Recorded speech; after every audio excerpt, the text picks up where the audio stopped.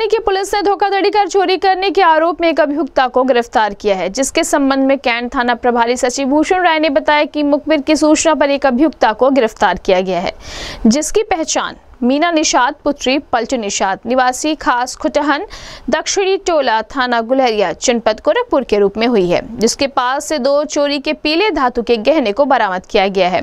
Cantt थाना प्रभारी ने बताया कि वादी मुकदमा द्वारा लिखित तहरीर दिया गया कि 31 जनवरी को रेलवे रोडवेज़ बस स्टैंड के पास एक अदद नाक की नथुनी तथा एक जोड़ा कान का टप्स चोरी हो गया है।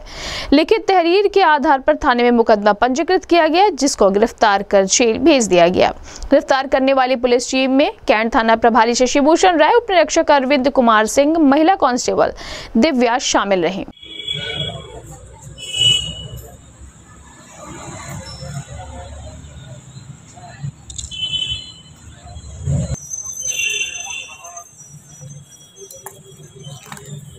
哇！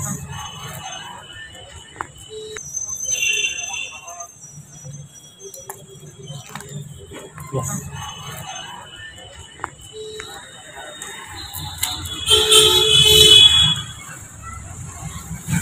来。